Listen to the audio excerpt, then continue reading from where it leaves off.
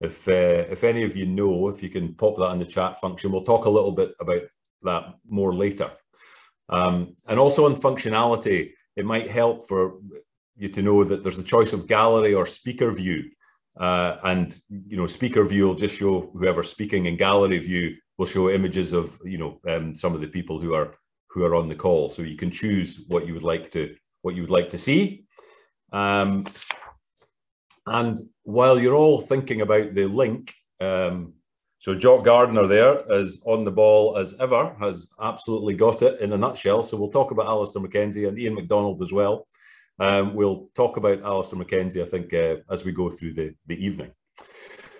Okay, we're uh, about to go, and the, the first thing we're going to do is um, Richie. You can't see it, but Richie has his replica trophy from the the winning the US Amateur with him. So perhaps Richie, you can let us see the trophy and tell us a little bit about the history and talk us through some of the great names that you joined when you when you won. And you're on mute if you don't know. Uh, yeah, Gordon, thanks very much for having me. First of all, um, and to everybody, thanks for for signing uh, in. A little bit different times, but um, I think the, the Zoom the Zoom chats work quite well. Um, yeah, very fortunate to to also win the US Amateur. I've got the trophy here. Um, it's something that you're afforded is a chance to actually buy the trophy. Uh, there's one at Royal Aberdeen Golf Club, and uh, I also have this, which is kind of my personal copy, which I just keep. It sits in the living room, and it's a great thing to look at uh, every day. And sometimes you forget maybe about the names on it. Um, I'll run through a few of them. Um, well, probably the the most famous one you'll hear about it a lot this week is in 1930 is that the Grand Slam of golf was a bit different, and uh, and Bobby Jones won the U.S. Amateur at Merion, um, and that created the Grand Slam. Jones would go on to to create Augusta Augusta uh, National Golf Club in the in the years following that. Um, Jack Nicklaus is on there, uh, 1959. Jack, Jack Nicklaus is on there again in 1961. Um, he, of course, regards the US amateur as as a major. Um, following through a, a, lot of names you would know, probably Lanny Wadkins, Bruce Fleisher in the in the, the late sixties, um, Craig Stadler seventy three. Obviously, Stadler being a Masters champion as well. John Cook, Mark O'Meara, uh, Mark O'Meara winning the Masters, obviously in I think ninety nine. Uh, Hal Sutton, 1980 Um, Scott Verplank, Billy Mayfair, um, and then you get some really cool ones for me, which is uh, Phil Mickelson in 1990. Um, and the only person to ever win it three times is Tiger. Um, 1984, 1985, 1986, and then Kuchar. Um, and obviously, in, in, in the last few years, um, Bryson DeChambeau has won it. So it's a it's a really cool trophy. It's got a long history, um, and uh, yeah, I'm very fortunate to have it and, and have one that I can see every day. Excellent. That was great to see that. And one of the things I found when I talked to you yesterday, Richie, was uh, you're not gifted the trophy. How does that work? No, um, you have to you have to buy one, and it's not overly cheap. And we did discuss like being an Aberdonian dipping into your pocket and sometimes get like getting blood out of stone. But um, yeah, it was. Uh, I'm not a big sort of material person. Um, I try and invest in myself and invest in what's around me, but but um, the opportunity to buy that was was too great, and just to have it is such a cool thing, and and hopefully, you know, it'll be something that I'll be able to pass down to Olivia and she can she can hold on to and, and, and keep passing it down generations and something that is is very unique and uh, I'm very honored to have my name on it. And we've just been asked, do you, do you add to the engraving every year with the, each new champion? Uh, I haven't yet, but the person who actually makes it uh, is in Britain. So I would wait for, I need to, the last one I have on there, I think is just myself is in 06. So we need a little bit of an update. So it's running it's running out of a little bit of a space. So we might need to add another another layer on the bottom. So um, yeah, I think I'll get that updated. Um, and uh, and just a, just yeah, just a really cool cool thing to have um, have in the house. That'll probably be another ten thousand dollars for the next layer. yeah, probably. um, and uh, do you have any particular fond memories of uh, winning the US Master? If I remember right, you met your wife Angela at Hazeltine. Yeah, I met, met my wife that week. Um, sort of story was that I, I advanced into the match play, and I'm sure everybody that's on this call, call knows match play is um, on the day. I think anybody can be anybody. So the idea was, like I said to Angela, you know, if I lose, I'll take you out. Um, well, I never lost. so it turned out it was the, the, the last night. Um, we had a big party at my host family's house, and um, and, and she came around to that. So we had a we had a we had a really good night that night. um, and uh, yeah, it was just a, a really cool experience. I had to play uh, Rickie Fowler in the in the quarters and, and Webb Simpson in the semis.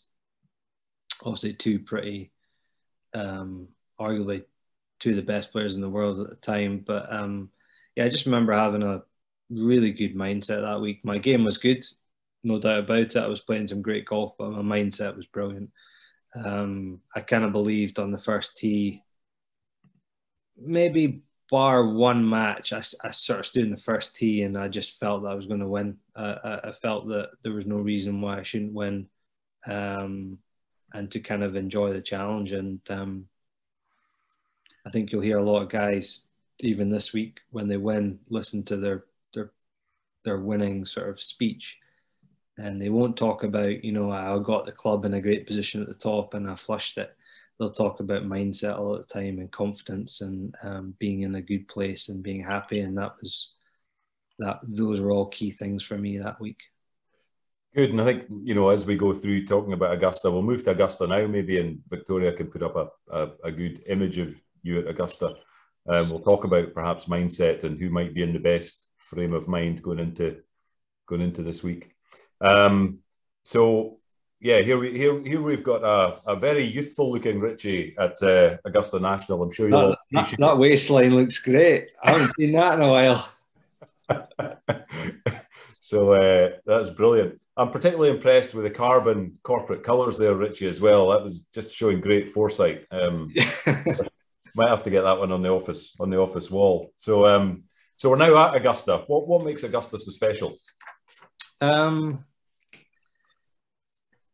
there's there's few places. Well, there there actually is no place like it in the world. You know, Valderrama for me comes is the kind of European equivalent, I would say. Um, but Augusta is one of these places where, just like everywhere you go, whether it be a football stadium or whether it be um, you know uh, like a really nice hotel whatever, you have an element of expectation, and um, with these with these places um, the expectation is generally quite high. So to meet meet your expectations is a big task for wherever you're going.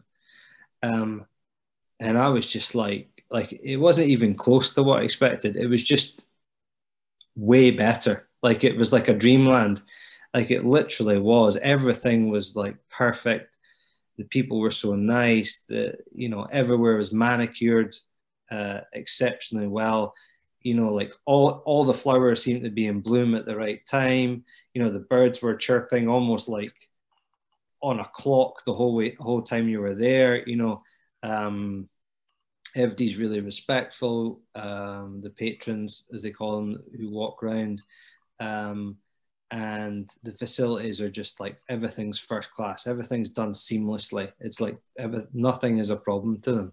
From it sounds funny from picking up you know a car at the start of the week, um, which you get you know you get a Mercedes to drive around, um, and you know the range has changed since I've been there, and I, I heard that the practice, practice facilities are even better. Um, you know anything you want. You know it's not just like one ball in the range. They've got every single ball you could ever imagine in the range, so you get to practice with the ball you want um, all the time. Um, and that sounds like a very small detail, but if you imagine if you have, you know, 30 different types of balls and you're hitting on the range, someone needs to sort that out by hand and get them back to you. Um, and that was that was never a problem. Um, and it was just it's just such a beautiful place. It's like you kind of you just there's a few places in in Scotland, maybe like Loch Lomond, where sometimes you just stop and you're just like you just got to take in. It's just your senses are just hit, whether it be like let's say the birds, just the, the view, like how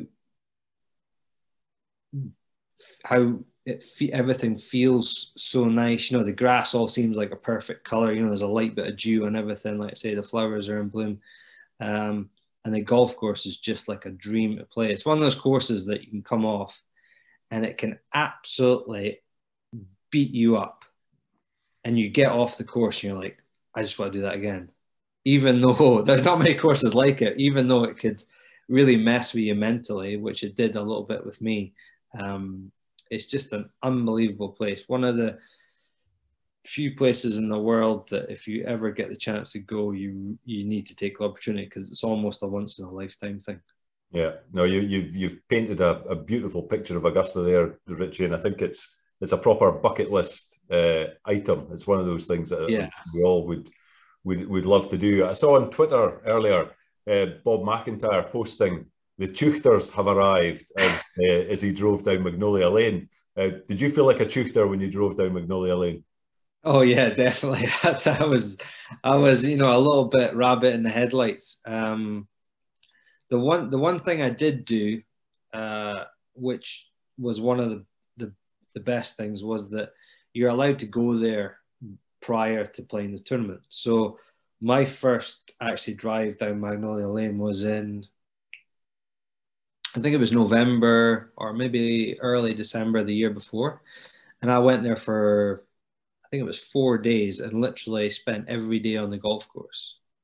And I would, and the idea behind this was like to take the wow factor out because there's, you're, you're taking in so much, you're mm. almost not really focusing on what you're doing. You're, you're kind of like, what you're looking around, you, you know, your jaw's on the floor. Um, and it's very hard to focus on the job at hand. So I went there for four days with my coach and we mapped out everything. Um, and it was brilliant because then I knew where everything was. Uh, I felt a little bit more at home, but that those first two three days just absolute kid in the candy store just like have you seen this have you seen what this is you know you know you walk into the locker room and and and you're just looking at some of the names and and then you're they've got a in the men's grill, which is really cool, they have uh, a club from each champion. And over the last, you know, 20 years, technology has changed dramatically. So you got to see like the Tiger Woods driver, and the Tiger Woods driver is the size of a rescue. It's absolutely tiny that he used when he won in '97, um, and all these little kind of all the little notes um, and the, the, the memorabilia around the clubhouse is brilliant. You just you need a couple hours just to walk around there and just see things. Um, and and that for me was key. It took the wow factor out and allowed me to to focus a little bit more on the tournament. And when you arrive, you know, Masters Week, kind of what happens? Who do you meet? Um, you know, golf clubs are normally pretty heavy on rules. Are there any particular quirks of Augusta? Um, you can't run anywhere cannot run anywhere. Even if you need the toilet, like you can't run. Someone will say like you have to walk. So there's no running. Um, they were very keen on me not to wear anything with a logo on it. Had to be very clean, and that and and because I was an amateur, I couldn't be seen to be wearing anything that wasn't endorsing anybody. Um, the the the practice the practice rounds were the big thing. You know, trying to get a practice round with guys and speak to guys who'd played there before. And I, I spoke to Sandy Lyle. Um, I got to play with Olazabal and Jimenez, which was was really cool, especially Olazabal. In watching him play the course, he he just was especially the short game was unbelievable around around the greens. Um, but yeah, they, they kind of when you're a player, you, you, you kind of get the run of the place, um, and you're you're almost inside a bubble. It, it's only when you get out onto, which I would say the the first tee, uh, and that's when you really start to kind of feel it because it's very, because I was in a marquee group with Mickelson and and Adam Scott. It was very uh, very busy, and it felt a bit of a shock to the system when I when I walked to the first tee. And uh, I think I think you might have won ten dollars off Mickelson, did you? Which not many people take money off Mickelson. You want to tell us about that? I think there's a, a picture of that, Victoria, maybe. Yeah, I was um, I, I was really really lucky. I just literally right place, right time. Um, so I was there on the Saturday beforehand and the idea was to play quite a few games and get a feel for the course, and then maybe have a day off on the on the Monday or Tuesday. And we were there on the Saturday, and Mickelson was coming up nine, and I was chatting to one of the members, and he, this member, knew Phil, and it was he said, "Listen, I'll, I'll, um, I'll let know let let Phil know you're here and you're I know you're playing with him, and just to sort of settle everything down. And I was just like, yeah, okay, that's great. Don't know what to say. And then he comes up and he couldn't have been nicer. Um, you know, sort of congratulated me saying win the US amateur. Um, and I was kind of like, right, he'll say hi. I'll see you on Thursday. That's it. Right. And he said, and we are just away to walk away and he said, Oh, are you playing tomorrow? I said, Yeah. He says, What are you doing in the morning? And I says, I'm probably just going to practice. He says, Do you want to have breakfast in the champions locker room? And I was like, uh, Yeah, of course I do. um, and then he said, well, well, we'll come in and have breakfast and we'll, we'll, we'll go and play the back nine. So I was like, didn't sleep much because I was like adrenaline and just like buzzing. Anyway, I got there and he's like, I was sort of, am I allowed to come in? Because you, if you're only a champion can walk in that locker room unless you're invited with someone. So we sat there, myself, Mickelson, um, I think Rick Smith was there as coach at the time, Dave Pelz. And um, just had breakfast and I just thought, right, like, just going to ask him every single question under the sun. So I just started asking questions and he was brilliant. Give him, give him a question, he would run through it meticulously, give you the, the full answer about Augusta. Um, and then anyway, we go on and we, we play a back nine, nine hole match for, for $10. So I'm like, oh God, don't get, you know, don't get thrashed because um, I was obviously quite Im- intimidated. Um, but then we start playing and we're, you know, I'm doing all right. Um, and I kind of, we get to 15 and I make birdie to go two up. So I'm two up with, with three to go. And I'm kind of like, right, just make a couple of pars, like get half and it's, we'll be okay. So we stand on 16 and uh, I hit one in there and the pin's front left. And anybody knows you land the ball on the right and it, it works its way all the way down the slope into the hole. And I hit the shot on and I'm like, put the club in the bag. I'm like 12 feet and I'm two up. So I've got a good chance for a birdie.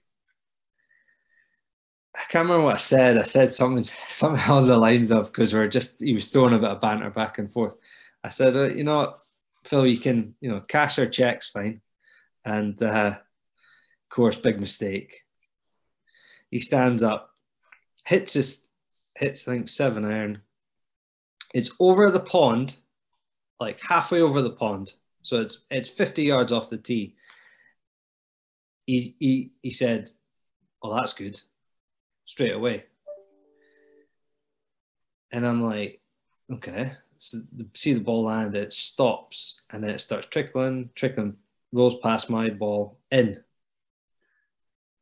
And I'm like, oh no, why did I say anything? what a rookie move this was. So then suddenly I've gone from being two up with a good birdie opportunity, thinking I could close the match out, to to going one up with two to play. But obviously the momentum's gone exactly the wrong way. Um, he birdie 17, and I'm like, oh no, right. I just hold it together and I hit it right off 18. It hits a tree and drops down. And I'm like, oh, he rips one up the fairway and he's got like eight iron in. And I, I've got a hack out because you can't cut it around the trees. And he hits one, it goes in the top tier and the pin's in the bottom tier. And Enemy knows Augusta greens are absolutely lightning quick. Um, and I, I've hit a nine iron from a third shot. I've got 10 feet. Um, he rolls it down to about six feet. I box mine from 10 feet and he misses from six feet and I win the $10. And I've never been happier about taking money off anybody in my life. Um, and that was, that was a really cool moment. And he was, he was brilliant about it. Um, just really open, uh, ask any questions. And he gave me a little, a couple of wee lessons after we had lunch and, um, and and as good as it was to play in the Masters. No, it's just like him. It's just taking this guy who's amateur champion and with. I think I think Victoria, are you able to put mute on, or can people just make sure they're mute? We're getting a conversation in the background. Crack on, Richie. Um, yeah, as good as the Masters was to play in, and and it was like a, an honor to be there, and I loved it like that was one of the abiding memories of my golf career. Like it stood out like a sore thumb because it was just you can't recreate that. Um, and and he was brilliant during the two rounds. Um, you know, I was playing really solidly. Everything was going well, and I kind of made a couple of mistakes. And he stand on the tee and he said, "Come on, like you know, let's crack on. We need to make some birdies." And little things like that. You know, when you're an amateur, it's you know you're looking around and you're like you know I, think he said on 13T you're looking around and like right let's do something here so um, he was brilliant and really put me at ease and that that helped me during the week um, but the, the time he took out of his schedule to play invite me to the locker room was exceptional and that's something that I'll never forget I'm very grateful to him for that that's very impressive, Richie. You mentioned the greens. I was going to ask you about the specific challenges that Augusta presents, and I guess the greens are one of them. Yeah, so experience is key around Augusta. Um, it's kind of like playing your home course, is that when you hit a ball in a green, particularly where the pins are very traditional, you know the breaks automatically, and, and the greens are difficult for three reasons. One, there's huge amounts of slope on them, slope that you just cannot comprehend. Um, in parts, they're a little bit like uh, continental courses where you get, our new courses where you get a lot of slope.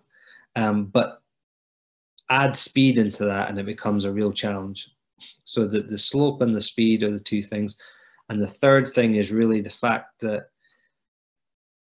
when you putt, you always have to know where the 12th green is because the 12th green is roughly the lowest point on the golf course. And everything moves to the 12th green. And an example of this is when I when even before I played a hole, this was explained to me, and I thought to myself, yeah, okay, it runs down there, but it can't affect it that much. And on the first hole, I had a putt in my practice round, and it was about 20 feet straight up the green. Now, as I was putting, directly to my left hand side would have been the 12th green way off in the distance. And I read the putt clear as can day, uh, clear as day, it's inside right with a fraction of break, and we both agreed. And I hit the putt, and it broke like crazy, about three cups right to left. And the caddy straight away was like, "That's that's the the twelfth pulling it." So you always have to know where 12 is. And any putt that's in the direction of 12 will be really, really quick. Um, and similarly, right to left, left to right. And there's certain pins that you really need to know where people leave what, what they talk about is good looks. So on, for example, on 13, there's a back right flag. And everybody would leave the ball below the hole. And Rae's Creek would be on your right hand side. So you'd think, well, the water will slope off left to right and the putt will slope off left to right. And I remember when we played with Mickelson, he said, go and hit this putt and read it for me.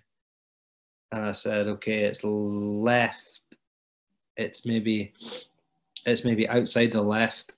Um, I think, I don't know if we have 13 up there, but um, that's 12 there. It was outside, outside the left and it stayed left. Um, so it's, uh, so it's, it's something you just have. That's why guys who win there have a lot of experience. That's one of the key factors because that just it shaves a shot here or there, um, and that makes a huge difference.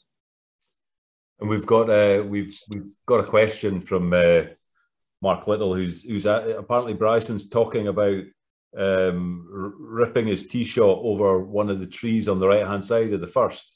Is that doable? Would you have attempted that? Um, well, the bunker on the the bunker on the right hand side is about 320 to carry, so you can hit it right there, but there's out of bounds straight right. So you could hit it, but it's one of those things that for a first tee shot, if you just miss it, it's gone. Um, so yeah, I'm I'm not a real fan of the whole the way things have developed with the technology. I think over it takes the strategy and the and the, the thinking out of the game. But I believe that Augusta is firm and fast, and that will be better for what I would say is the thinkers, the people who are more strategic, the people who have slightly better short games because it's hard to get up and down when the greens are firm, and have better distance control. Because if you imagine, just like when we play a links golf, if it firms up, if you just miss it by a fraction, then the, fir- the, the firmness and the and the speed exaggerates any miss, and it becomes becomes a lot harder to judge your shots into greens or um, you know hold fairways when you're hitting it over corners. And you know, while we're on Bryson, I suppose who who who is the course going to suit this week, or who's who's arriving the, with the right mindset? Who should we be watching? Do you think? Um, I think yeah, I think there's past experience is a, is a, is a big leader. So if you if you look on guys who have finished top ten there and and they get a feel for the course, that's that's a big um, that's a big indicator. So I would say the, the keys for me are experience, form, and probably attitude. So like I say, being in a good place. Um, you know, Jon Rahm just having a baby he's a young player, but he has good experience around Augusta. Um, a very good short game. Um, can be aggressive when he wants. Um, he should be in a really good place. Obviously, he played well at WGC, but he's had some time off. Then you got Spieth, obviously fantastic record around Augusta, trending really well. But can you win two weeks in a row? That's a tough ask because it it kind of you know mentally that's that's tough to ask from from any player. Um, and then you've got, you know, you've got Rory.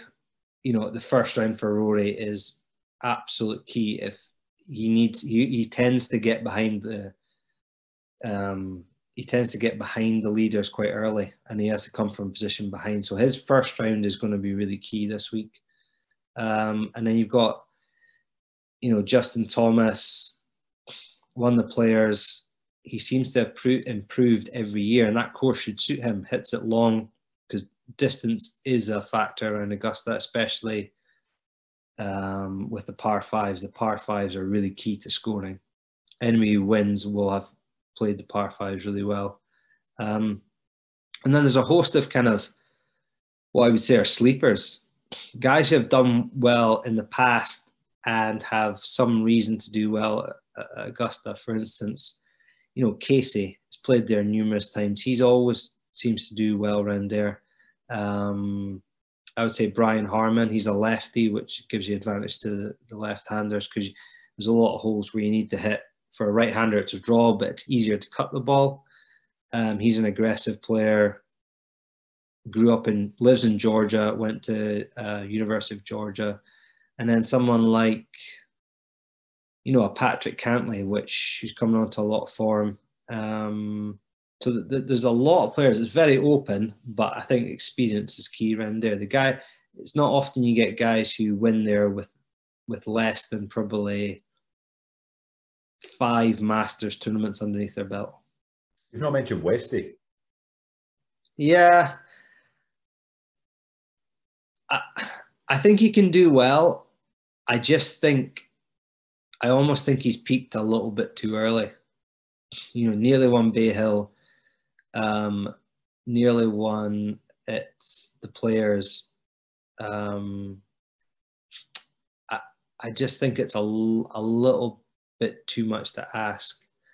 But if it's firmer and faster, the ball strikers will come to the top. So it won't be the guys who just just about putting. The ball striking will be an important aspect. So if you look at guys who have got really good tee to green stats, like uh,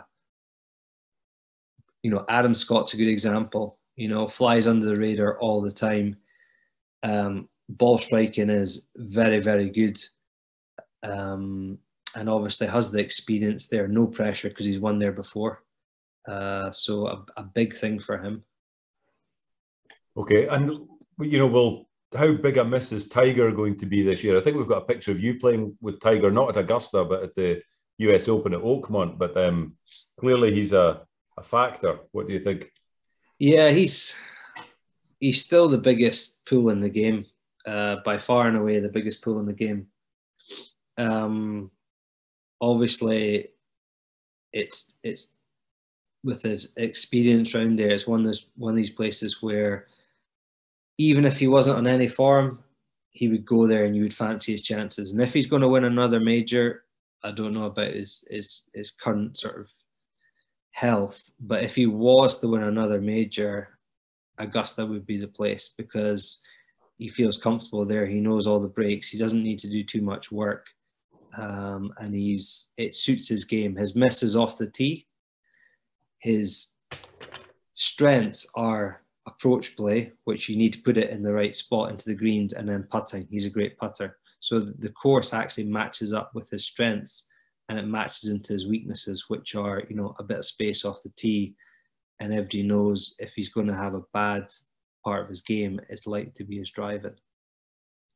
So he'll be a he'll be a big miss, but um, there's a, a lot of young guns these days, and and they all together as a collective provide um, a sort of a good level of entertainment and openness to the tournament. I would say because it is very open. And after Tiger uh, momentous win in, in '97, um, I think he said uh, the, the, Augusta then tried to Tiger-proof the course. That's quite interesting. What happened after that? Yeah, so the um, you have the the distance debate is is obviously pretty heated at the moment. Um, Augusta decided that they would protect the course with distance. Um, and uh, I was listening to a, a, good podcast this morning with uh, with Mark O'Meara, and, and he was talking about a conversation he had with the then chairman Hootie Johnson, and uh, you know they introduced a, a new cut of rough, which was good for Tiger because it slowed down the course. New tees, which made it even longer, and he was one of the longest players um, uh, at probably probably the longest player in the game at the time, and you know, O'Meara was was talking to the chairman and said, you know, you're putting back tees. It's a, it's going to be a completely different golf course to when he won. Um, and he said, I think you should make the course firmer and faster and take away the rough. So that when the ball lands, instead of slowing down the semi rough, it'll fire through into the pine straw, and that's where the problems start to occur. Um, and Mr. Johnson didn't agree with this. And he said he turned around and asked Tiger, says, you know, Tiger, what, do you think of the changes? And Tiger's like, oh, I love them, love them. Make the course longer because it suited him. It played into his hands. So the, the Tiger proofing um, was actually, or is actually one of the things that um, is a complete myth. It, it, actually played into his hands more and, and gave him a better chance of winning because it took a lot of the guys, some of the shorter hitters, particularly if there was thunderstorms and the course started to play wet, it took them uh, more out of the game. They had to they had to really be at an ultimate ultimate premium on their drive and their short irons, and and their their uh, short game to to compete. Whereas he had the length, and it, it made a huge difference. And we can't talk about Tiger without uh, asking you what it's like to be standing on the first tee, uh, waiting for Tiger and his entourage to appear, and uh, how that feels. Um, quite quite nerve wracking. Um, anybody that's ever played with Tiger, I'll tell you, he never arrives first on the tee. Never. Doesn't matter whether it's literally a minute to go or 30 seconds to go. He's always the last person on the tee. And um, it's just like a wave of, when I played, it was a wave of people. And you didn't see him. It was just like a kind of a surge of people came forward to the tee. And, and before he came up, there's, you know, there's 15, 20, 25 people, cameras everywhere. And you're just like, what is going on? Suddenly it's just turned into um, mayhem from being nice and quiet. And um, yeah, they, they talk about when Tiger shakes your hand and looks at you, he doesn't look at you, he looks through you because it's like you know, blinkers on. He's got one thing to do, and that's to win. Um, and a lot of people can criticize him for that, but once you see the circus that is around him, it must be incredibly draining to to, to have to deal with that on a day to day basis. Um, you know, because if he stops for one person, he has to stop for 200 people. So, um, so the circus that follows him is in, is incredible, and I think that probably, if anything, helps him because that's his day to day. That's what he's used to. Whereas, you know, it kind of throws you for the first few holes because you're because anytime he moves, everybody else moves. So you're over a shot, and he's he's not moving, but the camera people are moving around to get the shot for him on on on the putting green, and maybe you're trying to chip, and they're just all focused on him. Um, so it's quite incredible. I remember playing the eighth hole Oakmont, and it's about 230, 240 yards. And it was just three or four deep the whole way around the hole. And I remember looking to the left, and I was thinking to myself, I looked left, and there was nobody over to the left, which is like hole six and hole four. And I thought to myself, well, we're not the last pairing out. And I looked over and there were people playing over in the corner, but there was nobody there. Absolutely nobody there. It was like everybody was just focused on our hole. Um, and it was like, it just felt like it was, you, you were in a constant amphitheater of people, which was brilliant. Um, it was just, uh, it's just quite daunting and it takes a while to get used to. Is there anybody else on the tour that uh, is intimidating to to play with or challenging to play with? Um, Ernie can be quite intimidating, but that's because he's he is Ernie Els, but he's huge. He's just massive. You know, he just he's you know six foot four, and he's got that long. You know, for every three strides I take, it takes him one. And uh, you know, he's got the, these huge hands. You know, you, you, just think, you know, shake your hand, but am I getting it back? And uh, and uh, he, he's just physically he's intimidating. Um, but none of none of the guys that I've really played with are are that way. Um, they're all they're all pretty they're focused on what they're doing, but um, I, I was I never I've never played with anybody else like Tiger. It's like a different it's like an aura. I don't know how to describe it. It's there's, there's only a few people, and I'd imagine you know maybe someone like Muhammad Ali or Maradona or Pele or something that you could compare him to. Um, and he really is the first like global golf superstar where people know if you say Tiger and they don't play golf, they probably know who who it is. And uh, I don't think this will be Tiger, but who's who's the joker of the locker room? Um, Mickelson is quite funny. Um, he's he always seems to be like he always seems to be joking. You don't know if he's he's BSing or not. Uh, he told a little bit of a story the other day on the on the, on the Masters, um, but he's he's very uh, you know he's got that kind of wry wry smile. You know, say something and you're just like, are you are you being serious or are you joking?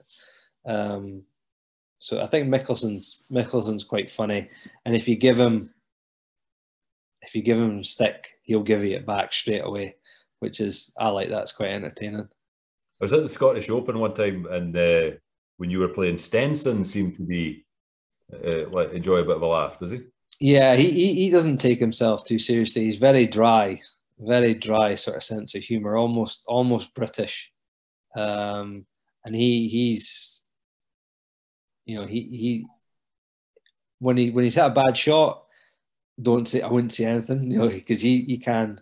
He's a big guy as well, six or six four. He kind of looks like a bouncer, um, but he, if you see him just around the around the the clubhouse, he's he's kind of he's laughing and joking, and he's he's he doesn't take himself seriously at all.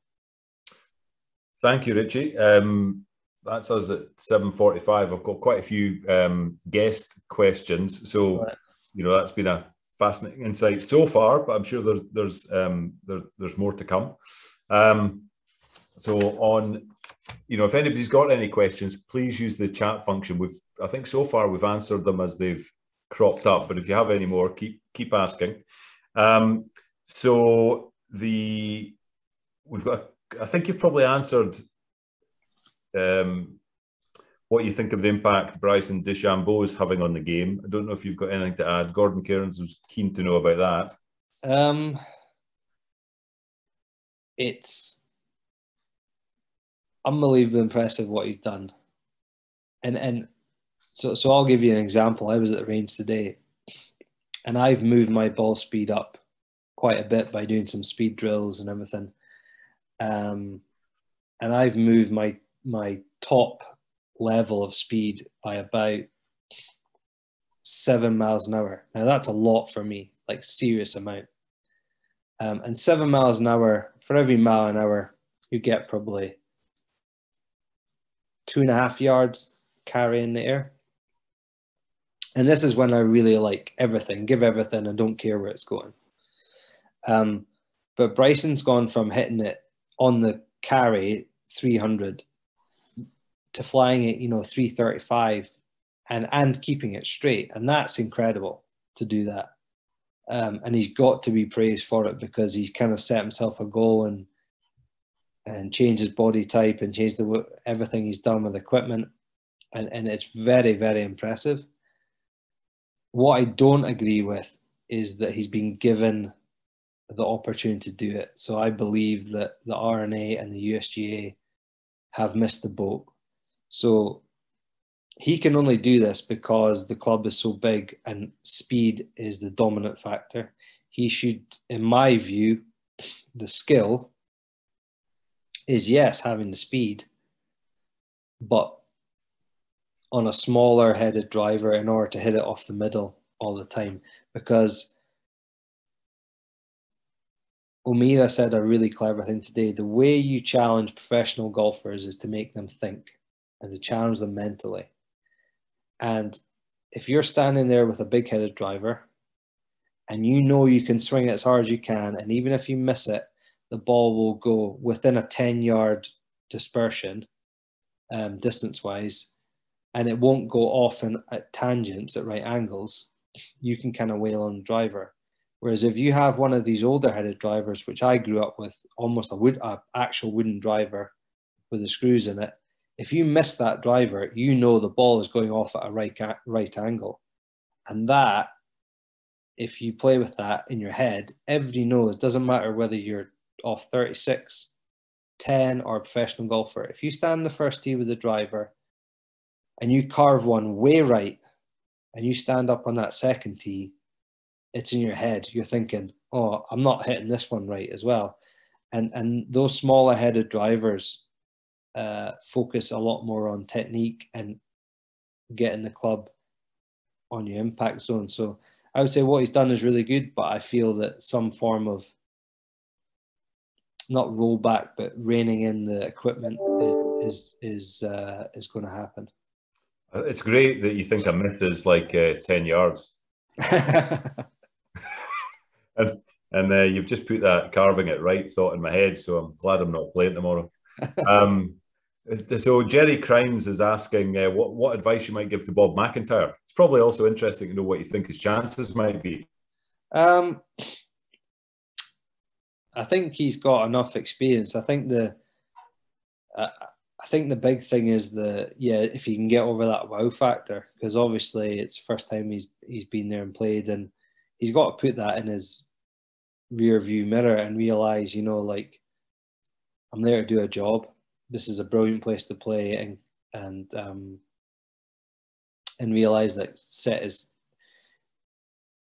his goals pretty high because I think he's got a good game to do to do well around there. He shapes the ball well. Being a lefty is a big advantage for him because, like I say, there is certain holes where you have for a right hander you have to hit it right to left. Um, for example, two, three's an advantage, hit it right to left. Five's an advantage, hit it right to left. Eight's an advantage, hit it right to left. Nine, ten, um, 13, 14. Um, the only one that it's not is 18. That's really the only hole on the course. So if you're a lefty, it's a lot easier to control a little baby fade than it is to control a baby draw for for a righty, and that makes a difference. And um, that will help him. And I think he's just got to set his, his, his goals high and remember, yes, this is great to be at Augusta. This is brilliant, but I'm here to like get a job done. Um, so so so take that wow factor out of it. And David Romilly is asking, what can we do in Scotland to produce more world class golfers? Um, it's a good question. I think um, Scottish golf's in the, in the middle of a transition. I think the the idea is that you have a pyramid base. So you have the wider your base, so the more grassroots you have to choose from. You can pick kids and they can move up a pyramid when you get to the elite level. If I was honest, they need to think more about the future and, and, and if you want to get people who are successful on tour, there's prerequisites to that. So there's things you need to be good at on tour. So distance is a big thing these days. Mindset and short game. So I'll, so I'll give you a, a little bit of an example of of this. So everybody knows that putting is really key. Um, like putting is, is, is a huge part of the game and it separates. This week, there'll be a lot of people who will strike the ball tee to green the same. The separation will come on the greens. In Scotland, we have numerous driving ranges. But for a national setup, we don't have an indoor putting green. Now, you can people can tell me as much as they want that their greens are good and you can come and practice here, but you don't have a consistent place where they can putt indoor and putt on greens that would be the same speed as the tour and practice on slopes that would be the same speed as the tour. And that hasn't changed since I was a junior, since I was 14. So that's, you know, over 20 years. So for me, you know, there's a lot of things that have been done, but they haven't been, the money hasn't been allocated in the right way. Um, yes, you have to grow the grassroots game and you have to get those those people involved. And just by participating, I think that's a great thing because golf has given me chance to travel around the world, meet new people, um, you know, it, it, it, I think it's a, a great sport. Not just you don't have to be brilliant at it, but socially, it's it's fantastic. Um, but the facilities are not there in order to help the guys flourish. So I just think that funding is a is a huge thing, and having somebody at the top that they know what they're doing, um, and so when you get the funding, allocate it properly. Um, it's just like a lot of things you see people who build stuff, and it's not until afterwards you think, well, wh- why did you do that? Well, that doesn't work. You know, it's like, well, if you had someone who you knew what they were doing, you could allocate the funds properly and, and build a, a structure around Scotland that helps people, helps with people that are talented enough. Okay, Richie, before we get any more controversial, we'll maybe go um, to uh, preparation. We've got some uh, questions coming in on preparation. We've got um, Kerry, Kerry Faulkner, I think, asking about, uh, you know, you're about to tee off in a, a major or something. Um, it's your, you know, what, what's your routine or preparation the night before? And we've also got Roderick Mayer saying, um, you know, pre-round routine. I love this question. Do you like to just hit a few to loosen up, or do you prefer a full workout? um, good questions on both. So, but before I play, I would set obviously go to bed, give myself plenty of time, you know, at least eight hours before I want to get up. Um, a lot of time bef- before I go to bed, I would stretch, use a foam roller. Um, and I'll generally get up. If I have like a nine o'clock tee off time, I'll get up about three hours before. So I would like get up, you know, shower. I'll go back to the foam roller, um, have a bit of breakfast, and I'll go to the I'll go to the golf course, or I'll go to the golf course get breakfast. But about an hour forty five before that's when I really start. So I would do a warm up, which would consist of probably twenty five minutes, or go into the physio. Um, so do a dynamic warm up. That'll be with bands or a foam roller. Make sure my body's loose. Um, make sure it's activated and ready to go, and then I'll do um, putting, uh, a little bit of chipping, and then from about an hour before it's really long game, I'll go back to the putting green and I'll get ready to go. And um, irrespective of where you're playing, whether it be a monthly medal or you know your way to tee up at the Masters, your pre-shot routine should really be the same. And if you find yourself slipping out of that, you got to step back and start again. And it generally you need a a small focus and it doesn't need to take too long. So you need to have a focus on what you want to do. So it's don't just stand up and go, uh, I'll pray that I hit the ball.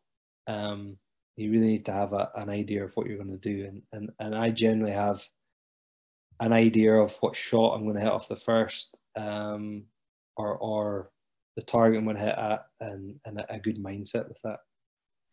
Okay, so I'm arranging my uh, I think it's my turn to arrange my boys' golf trip next year. So I'm thinking uh, a dozen foam rollers, a couple of physios, um, keep them out the bar the night before, and, and, that'll improve our performance. Is that that's what you're saying? Yeah, or you could, or you could stay up late and have a lot of bacon rolls in the morning, and coffee, and just wing it. okay, yeah, I'll, I'll I'll maybe have a vote on it. Uh, Chris Cuthbert's asking, which is your favourite open venue, and are there any courses you would like to see added or or might be added? Um,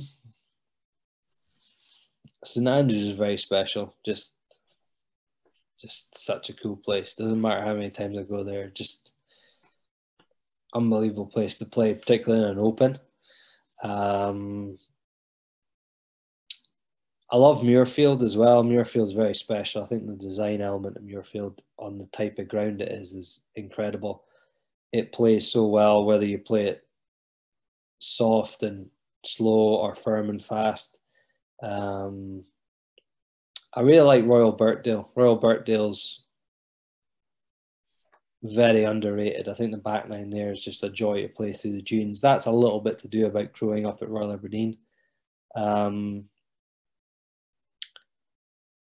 there's not I, Turnberry's not going to come back on as long as Trump owns it. It won't come back on. I think there's there is scope for maybe another Irish course if they can have one at at Portrush. They might think about having one at County Down. Um, because for two reasons. It, it is a cool golf course. It's something different. It has space. Infrastructure is tough, and they always get a full turnout. So they always get a huge turnout from the Irish fans, and they, they, they come there in droves, and um, and that's a big thing for for atmosphere, and it's always cool to go somewhere which is a sellout. Okay, that's uh, that's that's cool. I've got a. Um, it seems like a, an interesting question from I think it's Fraser Lyle. Uh, what separates a scratch golfer from a from a pro? Good question. Um,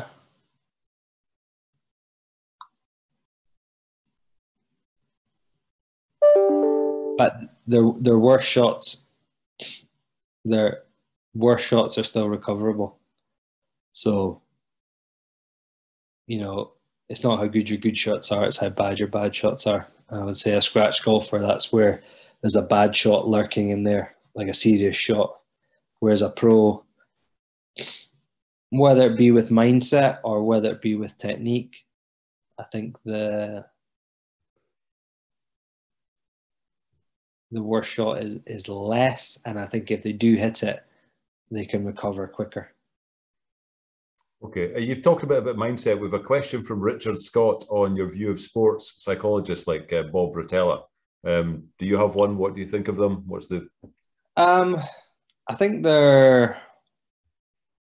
I think it can be very useful. It's it's it's totally up to the person. So some people, like, if you speak to Harrington, he would absolutely swear by using Rotella and say that you know the impact on his golf was was massive. Um, you know, speak to DJ, he would be like, "No, I just see ball, hit ball, fine ball." You know, he's he's it's just all on the person. So there, there's definitely for for the average golfer. I think it's a, it can be a huge help for the average member because they struggle with that. I see guys getting nervous about stuff even before they fit a shot um, and just to take your mind off it. So uh, having, if you took, you know, like, if I had a 15 handicapper, I'm almost convinced I could take them, get them down to 10 or 11, and half of that improvement would be mindset. Um, it, it's that that important, particularly for those that are just just average golfers. Okay, Richie, thank you. That sounded like a promise. Uh, um, we've got a question. Can't work miracles though. That's charming. You did help me. You did help me. Nobody will believe it with my short game the last time we were out, but um, yeah, uh, we'll work on that. Um, there's another question coming. I'm not sure who from, but what, what's your proudest moment and what's your current ambition in golf? Um, proudest moment was probably when I won in in Crans because it was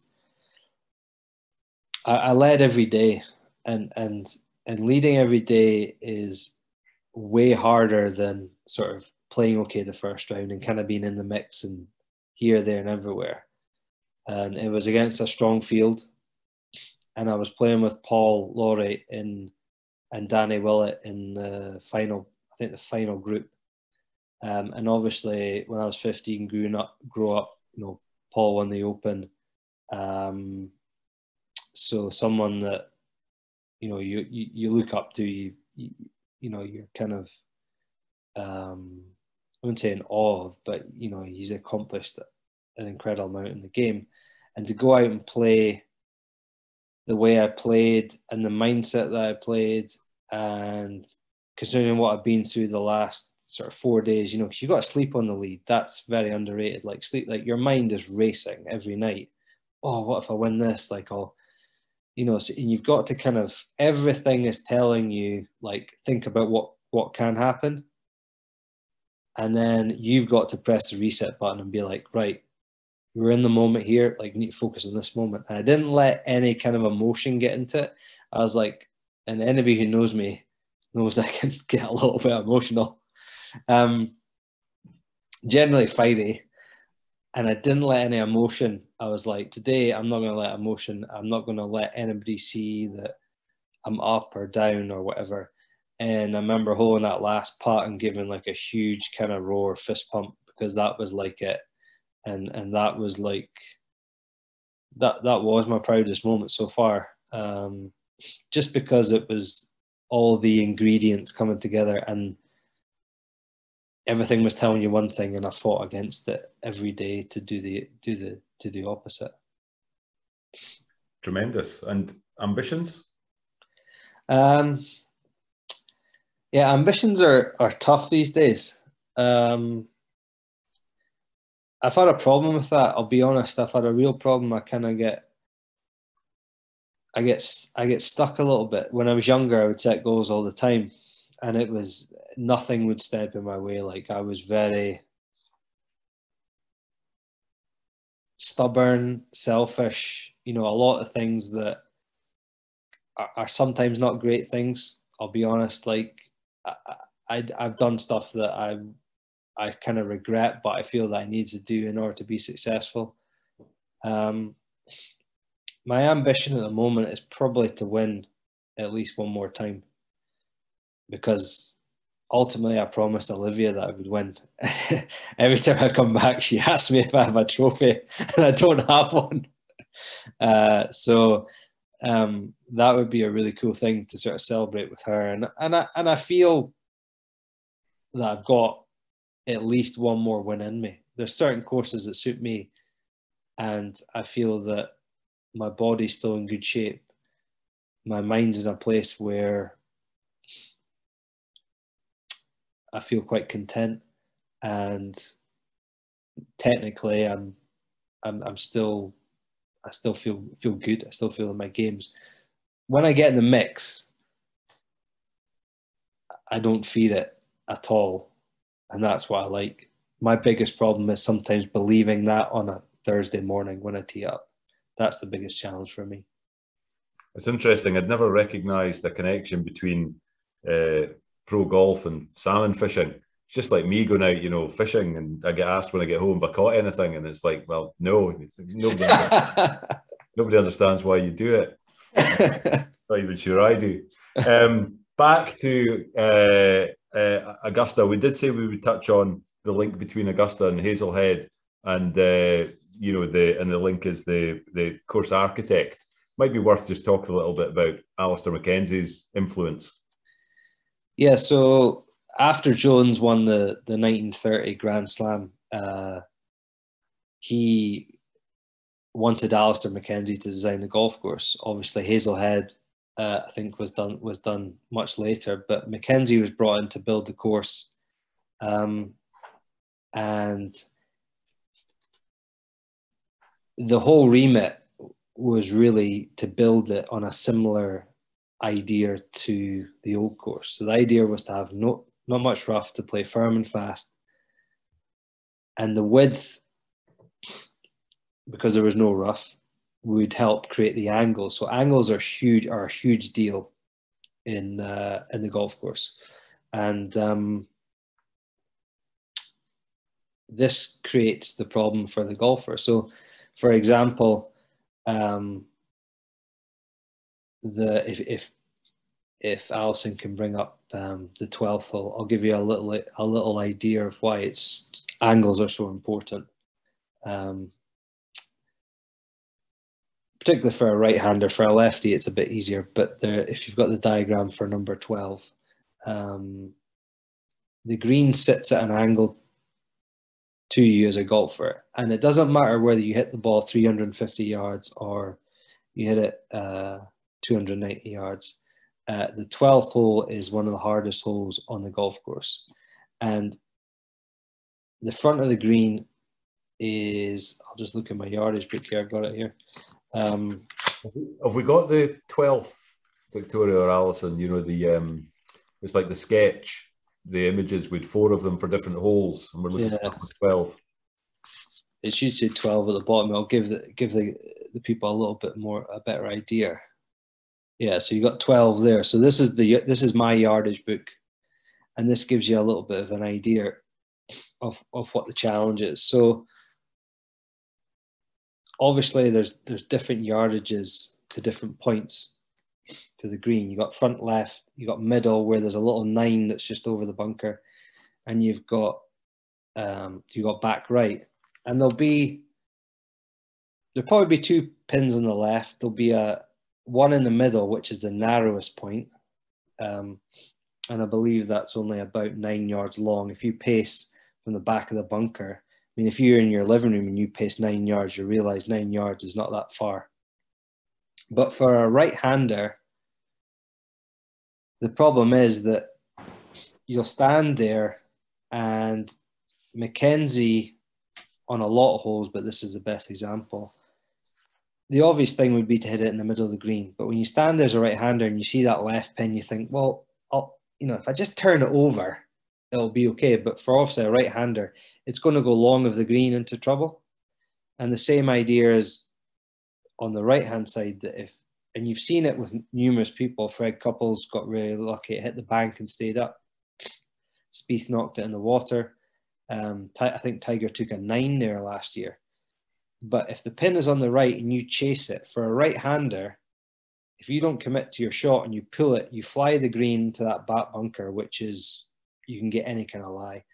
And if you just push it slightly, the ball won't travel as far. It'll spin a little bit more. It'll hit the bank and it'll go in the water. So the challenge is mentally as you're standing over that shot. Um, and you can just see by the angle it's drawn at. That's that's relative to the way the angle is, the angle on the green, um, is that it plays with your mind. And every person, I will guarantee, every person that will tee up this week in the Masters will know that, okay, I've just, like, I know the 12's coming. It's coming, right? I just need to get through it. I just need to make three on it because it's a hole that it can ruin your tournament. And it's a hundred, you can see there, even from a front tee, it's 125 yards to the front left. It's 137 to the back right. So it can play really, really short. But you add wind into there, which swirls around Amen Corner like crazy. Um, you add a tournament on the line, and then you add in the angle change, which guys know that'll hurt them if they miss the shot. And, and that's a great example of how uh, design can challenge players mentally, um, and and that's that's a good example.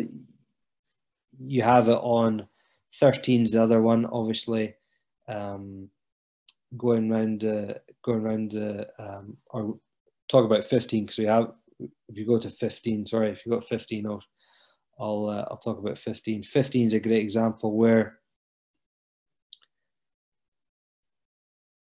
Mickelson always said to me, if you're going to hit it, if you're going to go for that green, I don't mind hitting it long because I've got a great short game. I can get it up and down. But he said, if you lay up and you lay up on the right hand side, you lay up on a maximum downslope with the grain of the grass into you and a green above you. And for a right hander, that's not a good combination. Um, so the optimum place to lay up on 15 is actually the furthest point left because it's the flattest lie. This allows you an angle to get into to hit straight up the green. So there's a there's a there's a slope there on the right hand side that's about 13 on. They generally put a pin about 15 or 16 on. So I'll check my if I check my stroke saver, I should have pin positions for 15. So four pin positions for 15 are 21, five from the right, which is back right, seven on, four from the left, which is on the very corner, 14 on, five from the left, which is almost just below, just below that slope in the middle, and 16 on five from the right, which is that one I talked about, which is three above that slope on the right. Now, if you're on the right hand side of the fairway, on a down slope into the grain, for a right hander, your natural shot would be to draw it. So to a right flag, you want to lay up on the left hand side. So, so width of the fairways and angles become a massive issue. They they may talk about that this this week. Is that you can be on the fairway, but you can be coming in from the totally the wrong side. So attacking a flag when you're on the right side of the fairway for the angle into the pin is key. And that's again that plays into the players. Um, it challenges them mentally. So if you lay up on the wrong side and you've got a wedge into a green and you're like, I'm not on the right side of the hole here. I've got a wedge. I should be aggressive to this flag, but then you know the penalty is going to be quite a lot if you miss it off a slopey lie. That's what challenges players, and that's why it's so difficult. That's why you'll see a lot of guys who will, will make a run and one hole just trip them up, and it's it's any hole out there because of the fact that there's water. If you just mis misjudge something, it's it can be really really challenging. So width and angles are important, um, and the angle you come into the greens is definitely important, particularly when there's a lot of slope on it. Um, that can't be overestimated. That's where, when it's firm and fast, the thinkers come into it more. Um, that that'll give you that maybe give you a little bit of an insight into those two holes, which are are card wreckers, no doubt about it. You can you can make a two on twelve, and you can make a three on fifteen, but you can make seven on twelve, and you could make a seven or eight on fifteen, and that's the that's the difference. Thank you, Richie. That was a great reminder of what a simple game golf is. um, yeah, a great example of uh, how Richie thinks about the game, just slightly differently from me, certainly. Um, so we're, we're, getting close to the end, and I'm conscious we haven't been able to ask all the all the questions because um, we've we've got an awful lot. So a couple more. It's maybe just worth worth picking up on uh, green maps because I don't think they allow them at Augusta. And what your thoughts are on the use of them more widely? I, I've used them. I don't believe they should be there. Reading a green is a skill, um, and that's this is a huge thing this week because DeChambeau is uses green reading maps meticulously. Takes a lot of time with it, and he, and you're not allowed to use them at Augusta, and that will that will be something that will be difficult for him to get used to, and it, it, may take him a few years to get used to it and get used to the greens, um, and not not having that sort of crutch there that he can use. Um, so that's something that will be harder for him. I just I I think they should just ban them. Should just said no, we're not doing it. It it slows down play as well. That sort of thing. Um, so it's slow for play, and I think it's a skill, and any skill you should be able to learn and not just have it given to you. And the, the, the final question I'm getting pushed uh, for a, you know, who's going to win? Um,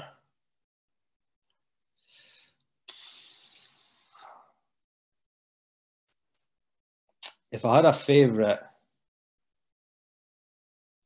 I would say probably at the moment Justin Thomas. Um, just because I believe his winning percentage is really, really high. When he's in the mix, he wins a lot. I think he's won 14 times or something since he's turned pro. Um, and he's improved every year. And he didn't play last week.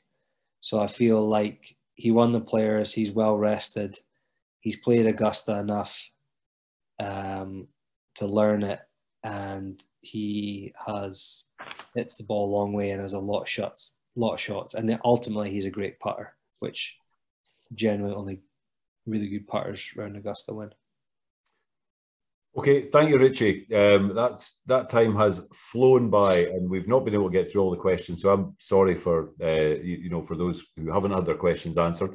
Um, but hopefully, you've had an insight into Augusta and Richie's experiences and his uh, career and uh, what he is still keen to achieve. So um, I'm I would just like to wind up by thanking you all for joining us. Um, I'm sure we're all looking forward to the next four days. We'll be glued to the TV, and let's hope we're in for a a nail biting uh, finish. We've got some comments coming in about uh, being brilliant. So thank you, Richie. There's some thanks coming in. That's really appreciated. Well, thanks, thanks very much for for everybody that's come on. I know it's um, it's a little bit different, but um, no, I appreciate you coming on and listen. My wife won't listen to me for five minutes, and you've listened to me for almost an hour and twenty. So that's quite impressive. Oh no, yeah, I think you've been a great sport as always, Richie. Uh, you know, I really appreciate you giving us the the the time. Um, and I think you know, if there are any potential sponsors out there, I'm sure Richie would be interested in having a chat with you. That's always a that's always a positive. And um, we've got a just from a carbon perspective, we've got a few more webinars coming. So look out for invitations for. We've got Mark Beaumont in May, Eilidh Barbour around the Euros in June, and uh, we're just trying to get a date confirmed for Jamie Murray around uh, Wimbledon. So we've got a few a few to come. So Richie, all the all the best for the rest of the season. Uh, I'm sure we'll be following you, and we'll see you see you again. Thanks very much. Hopefully, I'll I'll I'll uh, I'll have a trophy trophy next time we speak. okay, thank you, and yeah, thank you, Gordon. Good night, Thanks, everyone. Guys. Thank you very much.